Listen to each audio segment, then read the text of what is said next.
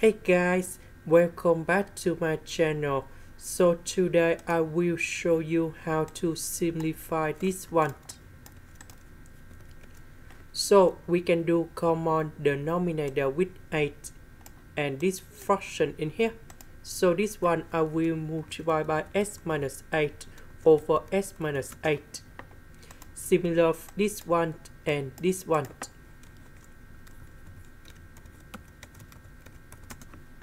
And the last one.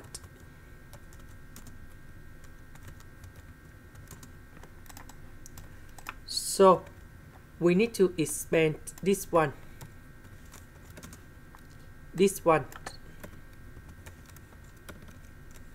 And this one. Now we need to combine this fraction and this fraction so we have like this similar this one and this one.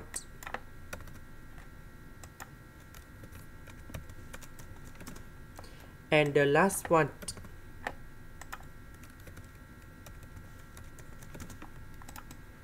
So a square minus a square b square minus b square. C square minus c square. Now we can do about factorization by x and we have like this. So this one divided by this one so we have x. And that is the final answer. This is the end Thank you for watching.